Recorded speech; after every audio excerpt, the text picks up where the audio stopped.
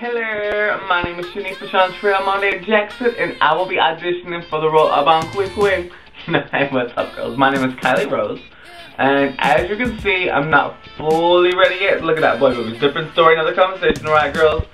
but if you give me just a little bit, um, I will be with you um, in full face, alright? So remember the face, remember the name, Kailee Rose, and alright, y'all stay out of trouble, and much love. Mwah.